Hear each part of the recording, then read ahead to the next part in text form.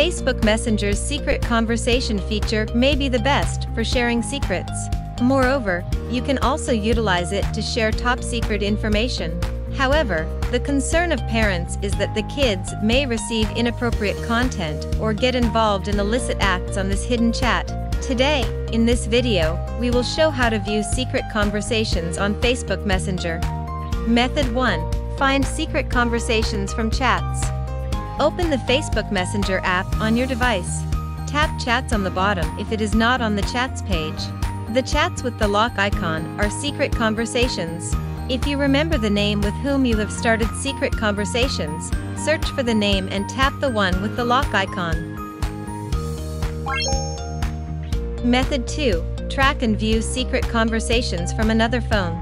Due to safety concerns, parents want to keep a check on Messenger for their kids. The best option is to use AirDroid Parental Control.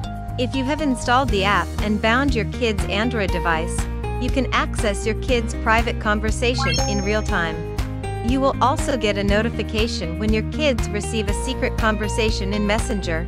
You can also use the screen mirroring function to check their live screen. Method 3. View deleted secret conversations by restoring setting. If you archived some secret messages inadvertently, you can still retrieve them. Follow the below steps to retrieve messages from the archive folder. Open your Messenger app, tap your profile and select Archive Chats in the drop-down menu.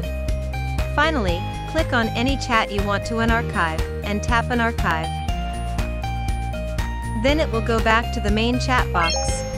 Okay, that's all for today's video. For your convenience, we have leave the download link of AirDroid Parental Control in the description below.